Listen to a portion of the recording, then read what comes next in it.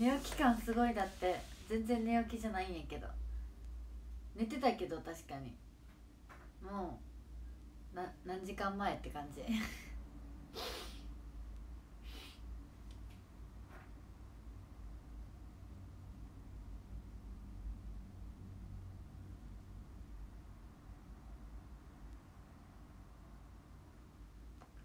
全然寝起きじゃない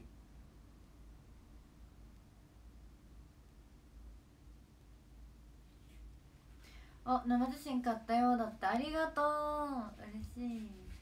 ありがとうございます。レモハマレッスン順調。えまだ受けてないけど。まだ受けてないけど。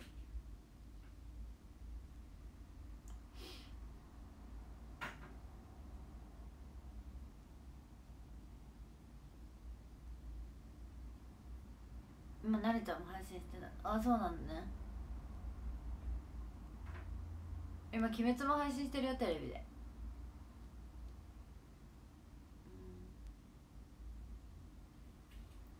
唇ツヤツヤになってありがとう。唇今荒れすぎててさ口のこの両端あるじゃん。ここも切れてるしね。こことかが結構荒れてて荒れてていつもだった真っ青の唇が割と赤いんですよ。だから痛いからめっちゃリップ塗りまくってんの。もうテッカテカになるぐらい塗りまくってんの。だから多分口がテカテカなんやと思う。天ぷら食べたわけじゃない。よん。天ぷら食べたわけじゃない。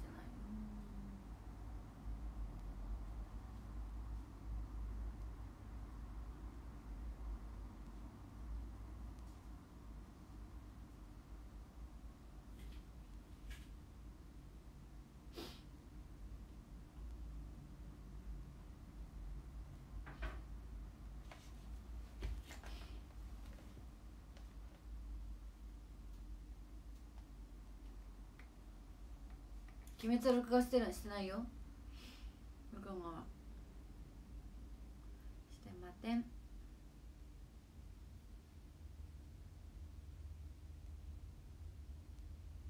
鬼滅はやってるけど今テレビで。19時からだったかな確か。だからね今絶賛絶賛中ですね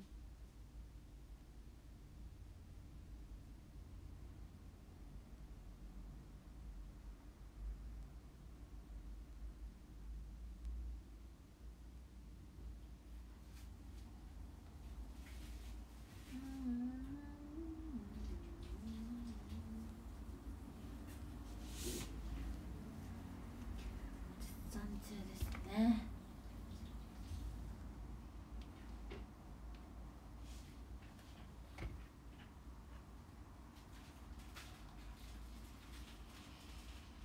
うん。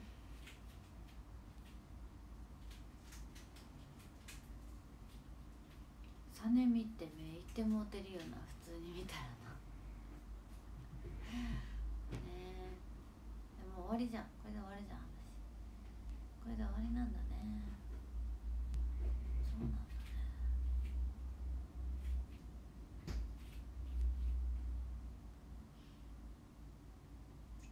だねね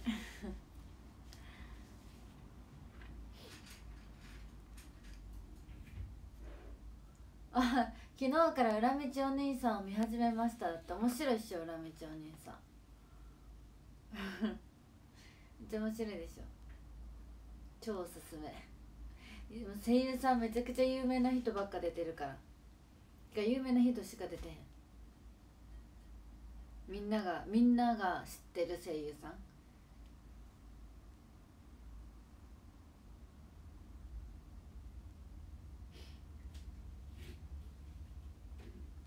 めちゃくちゃ豪華やから。ぜひぜひ。超面白いから。すごいでしょ？子供に対して現実を見させるっていう感じが。とっても面白いで。いやちょっと何が面白かったかとか言ってちょっと話がバレるからやめよう。なんか私割と日常系見ないけど恨み町兄さんとか割と日常系な割には私めっちゃ見てるなってすごいあの思うね。うん。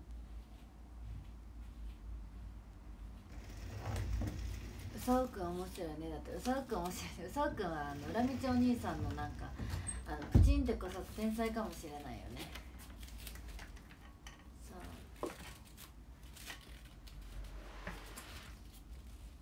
裏道お兄さんめちゃくちゃ面白いんだよね。昨日のラジオやるすで仰天さんの話題出てましたね。だってあそうなんだ。ちょっと聞いてなかった。そっか昨日の夜はちょっと聞いてなかったな。ちょっと違うことしてたから。そうなんだ。えー、悪い話じゃなかったらよかったいいいいんですけどね。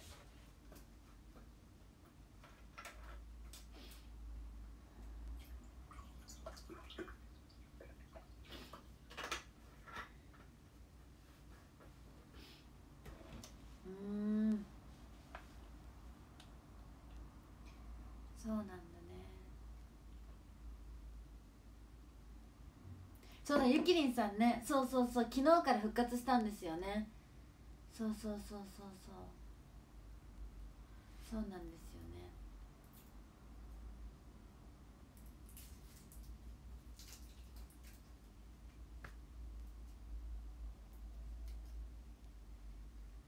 アニメの話があって楽しかったという話でした。あけんこばさんですか？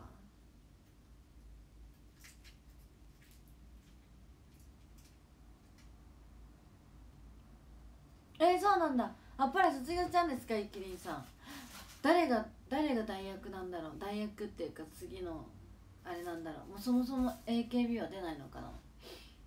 どうなんですかね。ちょっとわかんないですけどね。うんそうなんだ。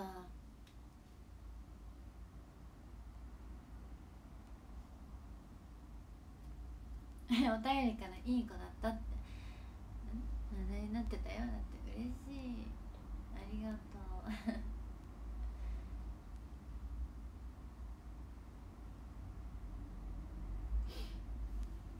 そっかゆりなちゃんだったら絶対なそれ100%ないわ。それ100%ないわ。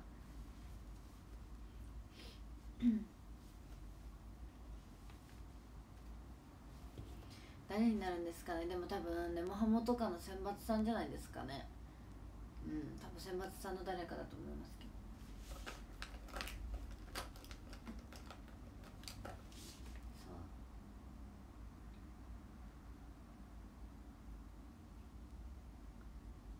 私好印象でしたか？ぜ そう。そんな感じじゃなかったけど。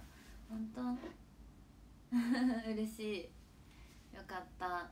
でもゆなもすごい楽しかったけんね。よかったです。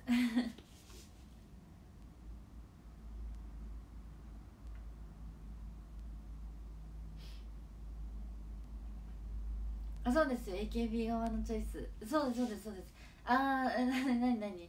あのあっぱれさんの方からのって思ったんですか？いや絶対私のこと知らないでしょ。ってなっちゃうからね。うんうんうんうん。うん。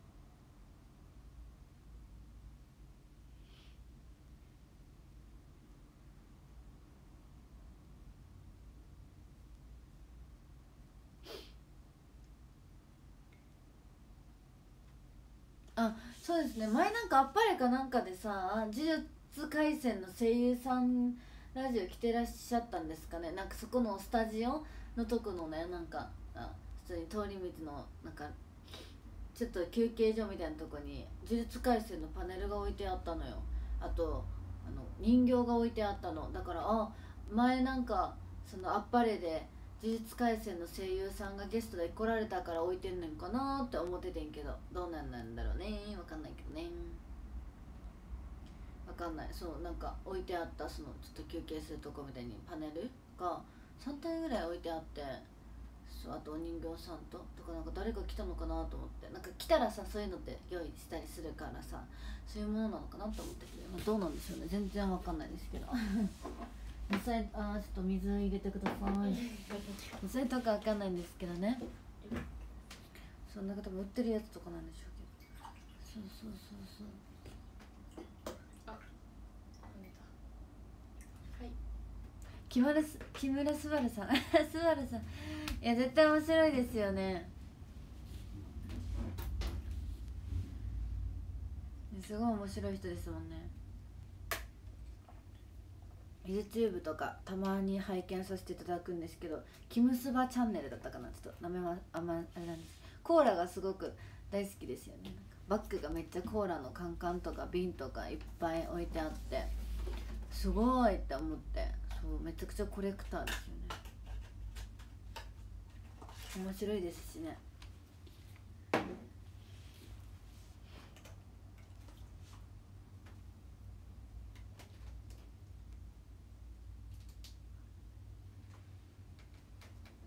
あそうそうそう。内田さんこの間お誕生日だったんですよね。29歳の。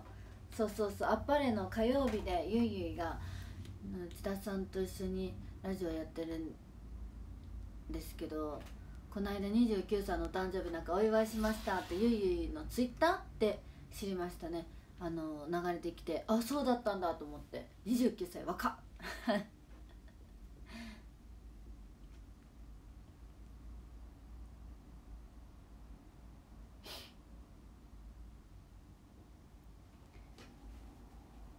ねすごいですよね。あれなんだっけ内田さんってさお姉さんかなもういらっしゃった。お姉さんも声優さん？なんかされてますよね確か。違うかったかな？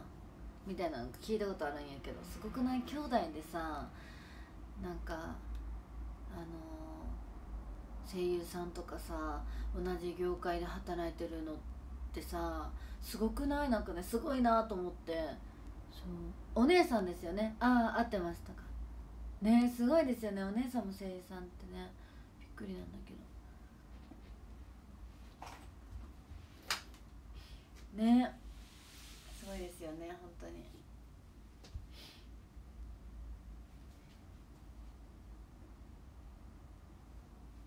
いいですね内田さん。めぐみ。マイブラザーの推しメンですね。めぐみさんめぐみ推しですからね。なんかすごい声優さんも最近ほんといろんなテレビで出ててなんかすごいびっくりしましためちゃくちゃ。なんか今今ではそんなに声優さんをテレビでこう拝見することってなかったんですけどあのなんか雑誌とかには載ってらっしゃったことは見たことがあるんですよ。こう学校の図書館とかのさ雑誌置いてるところとかにこうたまにその友達声優さんが好きな友達がいたんですよね。だからそういう時にたまになんかその子が雑誌見てって声優さんが載ってる雑誌見ててあすごいこんなのもあるなと思って。全然ね声優さんはね知らないんですよ。ちょっと申し訳ないんですけど。あんまり詳しくもなくて。そこまでなんて言うんだろうな。だったんですけど最近すごいテレビでねいろんな方が出ら出てらして拝見するようになって。そうそうそう。なんか声優さんのだから声とかは分かるんですよ。なんかあこの人の声何々のアニメでも聞いたことあるなってのは分かるんです。顔まで出てこないぐらいだったんでそうあんまり詳しくはあのー、ないんですけども。そうそう。でも最近すごいテレビにも出ていっぱいいらっしゃってすごいなって。すごいですよね。声優もできてバラエティーもできるって強すぎるなと本当に思いますよね。ね。うんめちゃくちゃすごいですよね。尊敬しちゃう。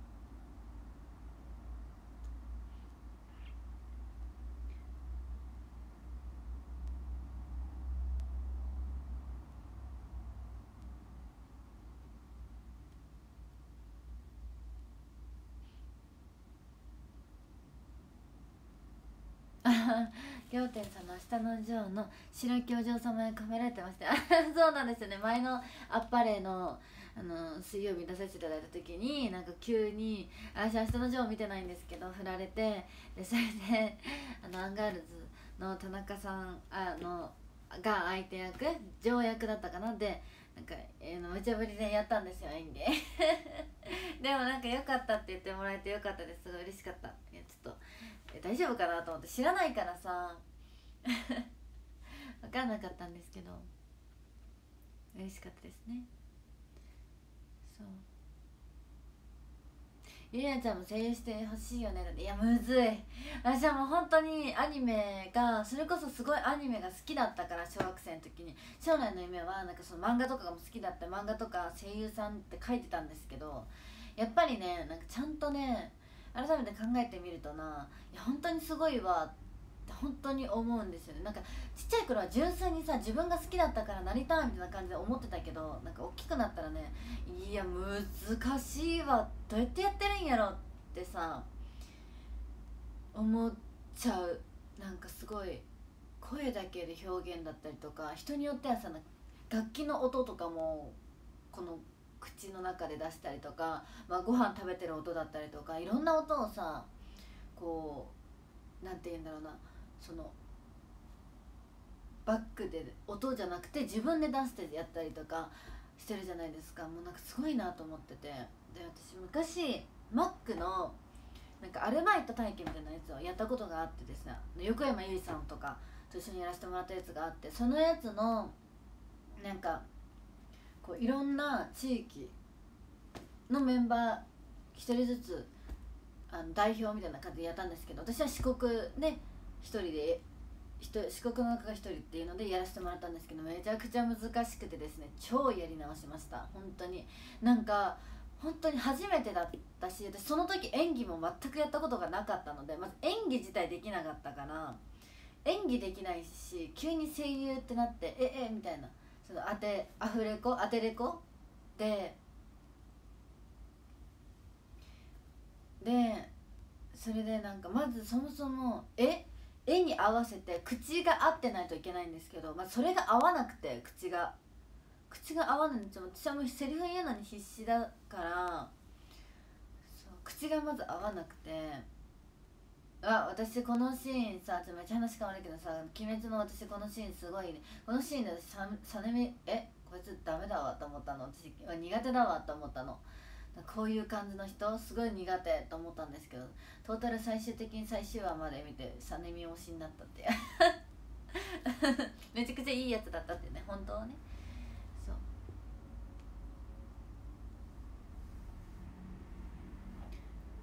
そう。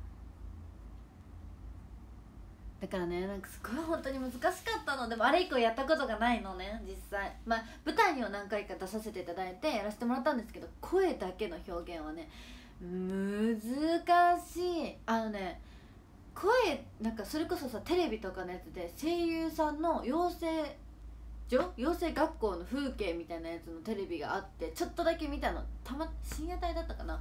たまたまテレビつけてやってて見たんだけど。もうすごかったよ。なんか普通に聞いてたらうまいんじゃないかなって思うけどやっぱ先生からはなんか違うみたいななんかそんなんじゃないみたいな。なんかすごいめっちゃ言われててみたいな。えー、みたいな。本当になんか声優さんってなりたい人って昔からめちゃくちゃ多かったし専門学校通ってる人も多かったけど実際に声優になれてる人って本当にこんこのぐらいしかいないって言われてるぐらいむちゃくちゃ狭きもんじゃないですか。でさ今こうやってさアニメが熱いじゃないですかだから多分余計に声優さんにアニメ熱いしバラエティに声優さんがたくさん出てくるようになって多分声優になりたいって思ってる人めちゃくちゃいるだろうからさ。なんかもうもっと大変なんだろうなってすっごい思った。だってまずさ事務所に入れるか入れないかみたいなでもさオーディションめっちゃあるじゃないですか。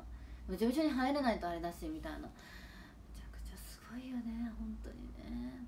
でもさそうやってさ主人公をできる人がいればさクラスメイト A とかさ全然名前のない役から始まったりとかさいろいろ本当に難しい。世界どの世界もねやっぱね難しいっていうか大変だなってすごい思う。うん。ねえ本当に。ゆりなちゃんに。えー、ああリベン東京リベンジャーズの新キャラの。ああ千住ちゃん？千住ちゃんの声やってほしい。千住ちゃんってアニメ出てあアニメ全然出てきてないわ。アニメ全然出てきてない。漫画でも割と最新話じゃん千住ちゃんって。私さあのさコミックジャンプ週刊読んでないからあでも千住ちゃんの存在は知ってんの。めちゃくちゃ可愛いよね。顔ビジュアルマジでやばい。超可愛い本当に。でもなんかその深くは知らない。ビジュアルは知ってるけどめちゃくちゃ可愛いよね。これぐらいの子のね。こうパサッとしたな。可愛いっていう。こうはね知ってる。うんめちゃくちゃ可愛い。女の子だったら千住ちゃんが割と一番好きかもしれない。ビジュアル。ビジュアル。ビジュアルの中でもね。なんかその中身は私まだその千住ちゃんがどんな子か知らないからあれなんですけど見た目だけで言ったらめちゃくちゃ好きかもしれないですね。え花江さんの情熱大陸はすごかっただって。見たかった。花江さんね双子ちゃんがね生まれててねすごいね。なんかでも花江さんってすごい雰囲気からしてもすごいいい人っていうかいいパパさんっていうのがすごいにじみ出てるからさすごいなんか双子ちゃんなんかメロメロなんだろうなってすごい思いますね。そう。ね。優しい声してますしね。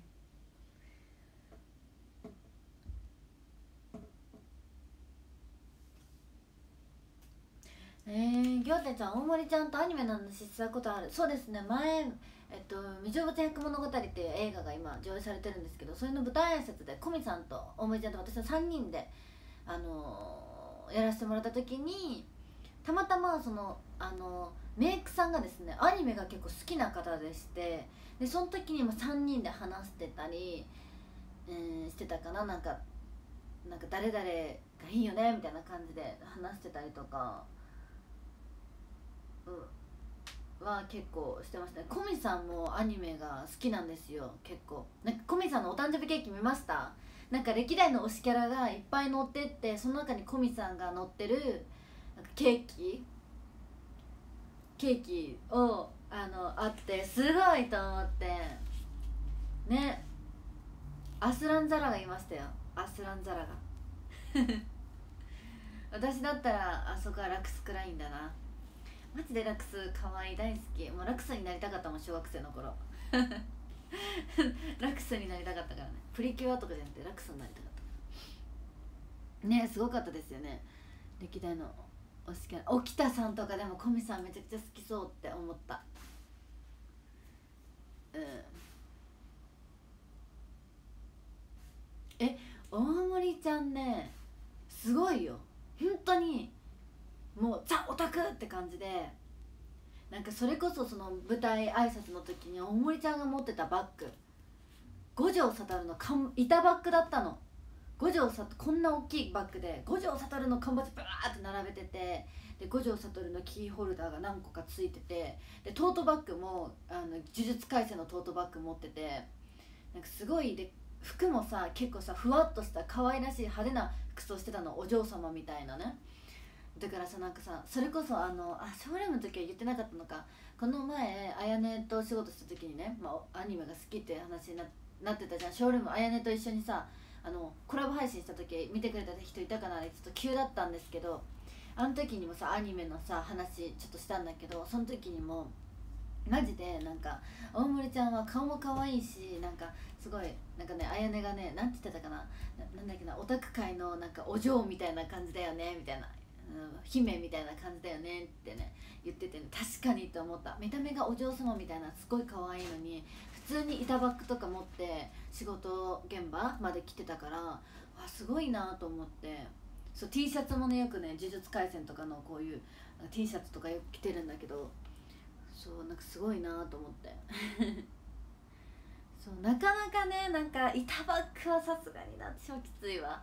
あらできない。あれできるのすごい。なんかトートバッグとかだったらワンチャン裏返しにして持っていくこととかあるのレッスンとかに。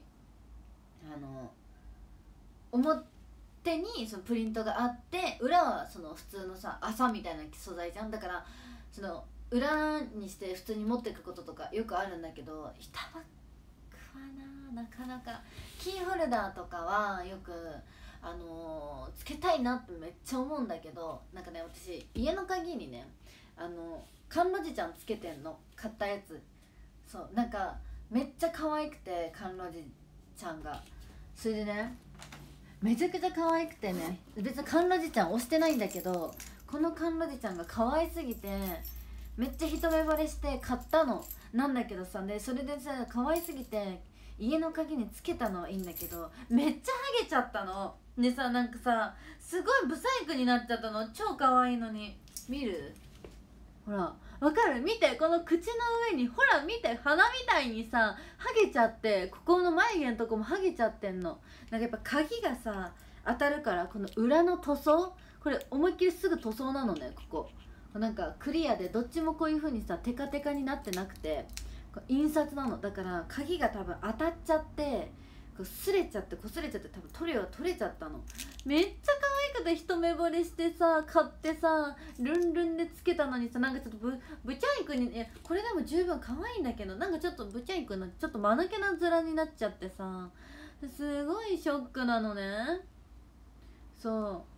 そう裏にもねちゃんとねアクリルやってほしい。じゃんとハゲちゃうからほんと。めっちゃ可愛くて買ったのになんのりちゃん見てよちょらいちょらいちょらいちょらいなんか全然カンロジちゃん押してないんだけどこのカンロジちゃんが本当に可愛くてえ可愛いってなってああとねこれのね私はねサネミも持ってんの。サネミバージョンも持ってるんだけどでも彼女ちゃんが可愛かったからサネミは推しだからさ買ったんだけどさそれに彼女ちゃん推しじゃないんだけどこれが可愛くて一目惚れしてサネミよりなんなら可愛いと思って買ったんだけどハゲたからマジでショックこの気持ち分かる人には分かる。分かる人には分かると思うんだけど。マジでショック。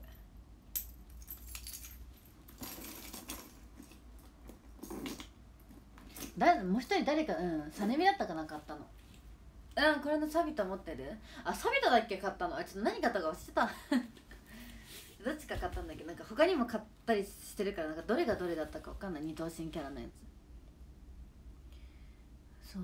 だからねすごいグッズとかめっちゃ使いたいのキーホルダーとかなんかぬいぐるみの私はあのなんだっけあのねぬいぐるみのあるじゃんぬいぐるみのキーホルダーとかめちゃくちゃなんか可愛いから欲しいって思うし買うんだけど実際自分でもねあのめっちゃ結局使えなくてもったいなくて。全部鑑賞用私唯一グッズであの使ってるのがこれ。このキーチェーンだけ。あとはもうね塗料が剥がれて欲しくなさすぎてしまい込んでるからね。なんかそういうオタクのグッズボックスっていうのが自分の中であってね。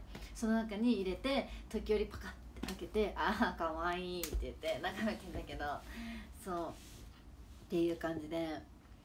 なんかすごい可愛いんだけどねアクスタとかは全然さ立てとけばいいから立てと立てられてさあれするんだけどさキーチェーンはつけたらね汚れるかと剥げるかそれもすっごいさ辛いのよ本当に悲しいってなっちゃう。しかもキーチェーンだとプチってなったらどうすんのって思うじゃない？ねそうでしょ？ゆうなフィギュアとか飾らないの。フィギュアねフィギュア飾るとこの場所がなくて今っていうのなんでさなぜ場所がないのよ。のそう。だからなんかちょっとあの変えようかなと思ってお家の中のねその飾るとこ今ねなんか唯一飾ってるのは前にも言ったんだけど唯一飾ってるのが玄関のとこにクリスタルギャラリーをたくさん今まで作ったやつを全部飾ってんの。であとはファンの人から頂いたあの枯れない花ブリザードフラワーも一緒に飾ってるんだけどもうパンパンでねあそこ。あそこが一番可愛い玄関。でなんかこの部屋にもファンの人からあのこれあれいつのだっけ？劇場 100, 100回記念の時にファンの人から頂いたブリザードフラワーを飾っててでその横に「あの鬼滅の無限列車編」のパンフレットを飾っててそうとあとあの呪術のなんか色紙のやつ飾ってるんだけどでその横にキティちゃん2つと香水飾ってるんだけど置いてるんだけどそうそのキティちゃん2つも可愛くて飾ったんだけどさほこりがねなぜこの家古すぎてすぐほこりがたまんの。でさ人形ってさだけどね普通のさ棚とかだとこうやってプップップってモップでやればさいけるんだけどさ人形ってほこりかぶったら本当にさ本当にウィーンってやるかコロコロでやるかぐらいしかできないじゃん。だからちょっとそろそろしまおうかなと思って。マジ可愛いんだけどさちょっとさ。ね可愛いでしょ？でもさもうほこりがすごいのよこの家。ふ古いから黒いほこりが掘ってふ降ってくんのね。ちょっともっちでもったいないからちょっとあれをしまってなんか違うやつ出そうかなと思ってて。でそれこそママがこの前ローソンの一番くじであの虎杖 A 賞の虎杖を当てたからなんかそれ届いたらなんかケース買ってフィギュアもフィギュアで置くとさ凹凸があるからほこりがかぶるんだよ。それ掃除ができないからだからなんかケース買ってあの飾ろうかなって思ってて。そう。だからねなんかそう今そんな感じで。でも唯一ねあのあれ今あの漫画があるんだけどブリーチの。その漫画のとこにちっちゃいアクスタ飾ってる。置く場所ないから。漫画の目の前に飾った。あとはなんかこんなちっちゃいフィギュアかなわかんないけどこのちっちゃいなんかキャラクターのやつあるじゃん。なんか二分二等身みたいなやつ。をねこれぐらいの100均に売ってるケースがあるんだけどそれに入れてあの飾ってるぐらいかな。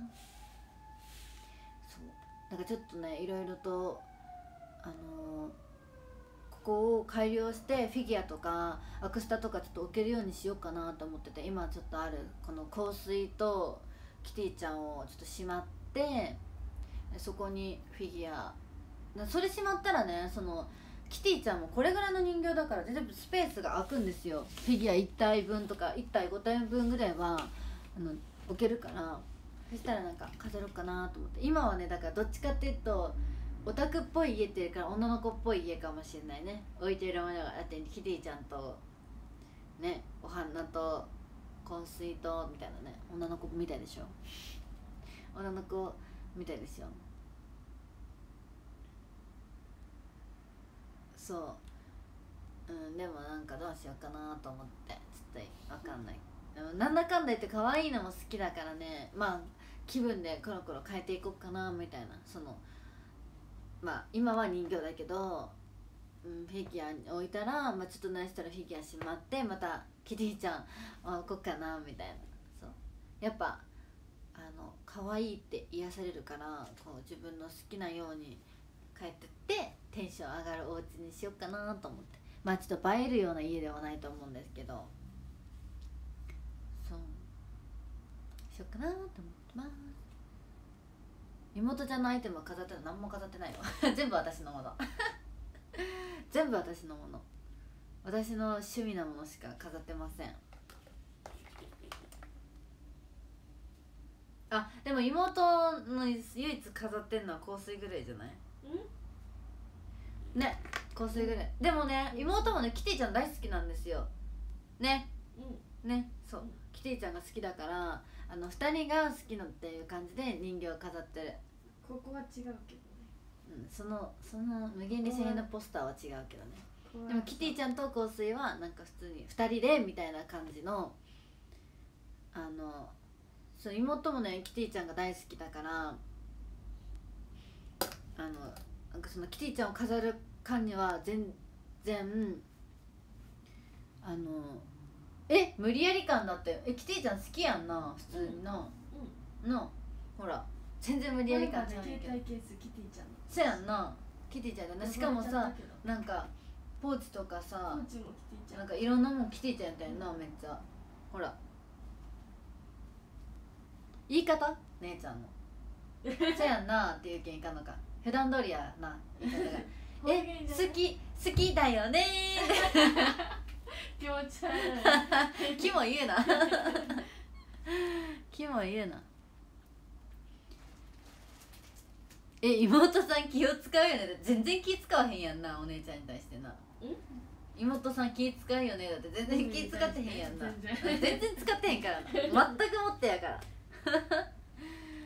全くもってやからなほんまに。逆にさそのさなんかさなんか好きだよねとかって言った方が圧を感じるやんな。好きやんな。って言われた方が普通ニコちゃう？ニコしながら言われたらえ？強制的にえせやんな。そっちの方がそうやんな、うん。普通に今のさえ好きやんなみたいな方がさ普通やんな。え好きやけどみたいな感じやんな。やっぱあれなんやな。ちょっと言い方やんな。うん。方言と言い方やんな。イントネーションとかが違うそうやんな。さだってさ好きだよねとか言ったことないんけ普通にこっちの人で「やんな」っつったらめっちゃ偉そうに聞こえる。ど確かに上からやんな圧感じそう、あの標準語喋ってる人からすると、うん。だよねって言わなうん。えそうやんな。えー、うんみたいな。なみたいな。やんな。なって言ったらちょっとあってなる。なそうなんやな。結構な言われるわほんまに。な な言うとるけどな。めっちゃなって言ってしまうやんな、まあ、しゃあない。ねえじゃないけん。なやけん標準語に慣れとる人はまあきついやろな。もうこれは昔から言われとるけんもう仕方ないけど。まああとは表情の問題じゃない？さすがに妹に媚び売るような言い方せえへんから。それはお願いしてくるときそう。なそうなんですよ。普通にねチュッチュンって怖いよな。妹にさ「媚び売ってどないすんの?」って感じやな。何ももらえへんだんな。欲しい時は別れでなんかお菓子それ食べたいなっていう時は別れででもさ普通の時にさ言わへんやろ。怖いよ。怖いやんな。うん。怖いんやけど。そんなことあったら逆に恐ろしいわマジで口の両サイド切れててなんか切れてるから赤いんやけど口。なんかある日突然口が荒れだした。私の口プリプリだったのに。プリプリで全然荒れてなかった。プリプリの唇が急にガサガサガサガサガサってなってここプクーンって切れちゃってさ食べる時口開かへんからさあめっちゃめっちゃ食べ方今変やから笑ってるのも痛いうん、そうしみるのご飯が今日もご飯お昼ご飯食べてた時に刺さしみちゃうでしょめちゃくちゃ めちゃくちゃ痛いのよ。ずっと痛い痛いことに。そう。口内炎じゃない？切れてんのここ。あーんって開けられへん今。口をあんまり開けずに喋ってるしご飯食べてる。そう。はあ本当に悲しいぜね。えだから常にめっちゃリップ塗ってんの。ご飯食べたら途中でリップ塗ってる。乾燥すると余計に切れるやん。だからご飯食べるとリップで取れてくやろ。すごい。塗りまくってる。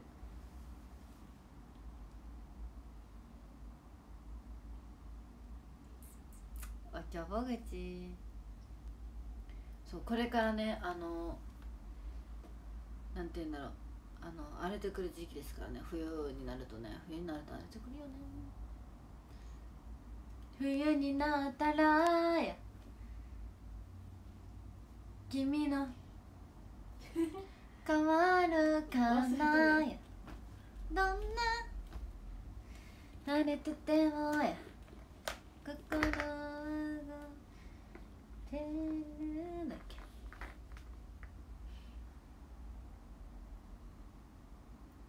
口ちっちゃいかなゆうなちゃくはないと思うんだよな。大きくもないし普通。いたって標準。多分ちっちゃく見えるの。は私のこのね骨格の問題と思う。ちょっと骨格に余白が多すぎるんよ。この辺がね。こうすると普通でしょ。私の私も憧れる顎がある骨格。私顎ないから。こうすると普通でしょ。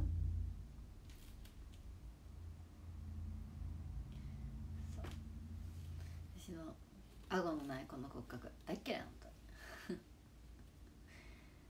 でも今日はねレッスンで前髪を開けてたの。でそれでお家に帰ってきたら私基本前髪を求めるし髪の毛もくくるの。それはなんでかっていうと髪の毛が当たるってそれってばい菌なのよ。だからニキビができるの。だからそれが嫌やから基本お家に帰ってきたら全部こうやってシュッシュッってやっちゃうの。だからねそのままでショールームやっちゃった。気づいたら19時です。やばいやばいショールームと思ってね。やったからこんな感じになっちゃったそうちょっと顔面出てるけど気にしないね